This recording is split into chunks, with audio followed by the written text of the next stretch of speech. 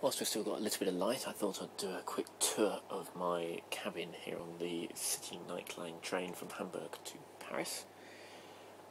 So obviously that's the window. And here's the bed, which I'm sure will be very comfortable. Um, here's a sort of lighting panel thing, which um, the attendant has just shown to me. Here's my bottle of Beck's, waiting to be drunk.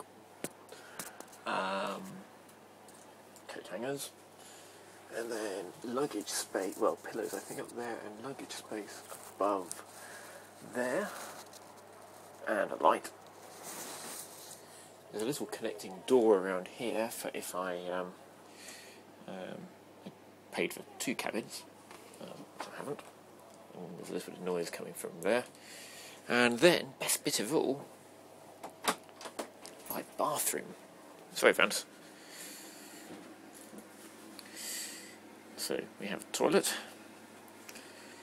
Um, I haven't worked out the sink yet. Is that down there?